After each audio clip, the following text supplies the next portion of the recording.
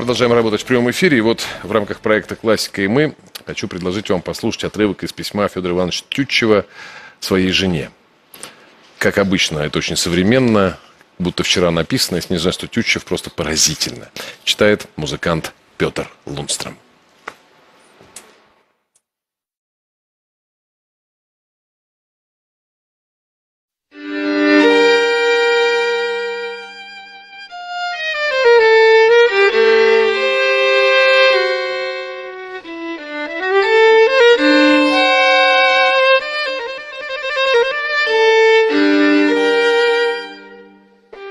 Давно уже война висела в воздухе.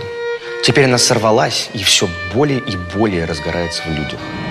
Ничто не выражает так ясно всю меру ненависти к России, как это смехотворное бешенство французских и в особенности английских газет после наших последних успехов.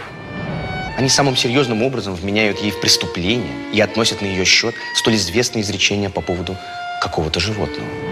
Оно было столь свирепо, что защищалось, когда на него нападали. Что же до вероятного исхода борьбы, весь вопрос для меня сводится к следующему. Окажется ли ненависть к нам Запада, как Запада католического, так и Запада революционного, в конечном счете сильнее ненависти, которая их разделяет? Весь вопрос в этом. Из письма Федора Тютчева жене 8 марта 1854 года.